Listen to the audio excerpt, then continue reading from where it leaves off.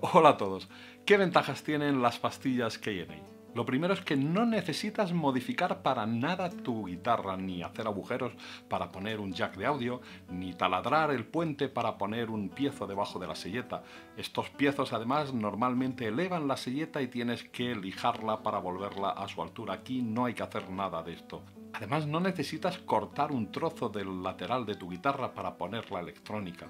Las pastillas KNA trabajan de forma pasiva, no necesitan batería ni tampoco instalar previos ni electrónica en la guitarra.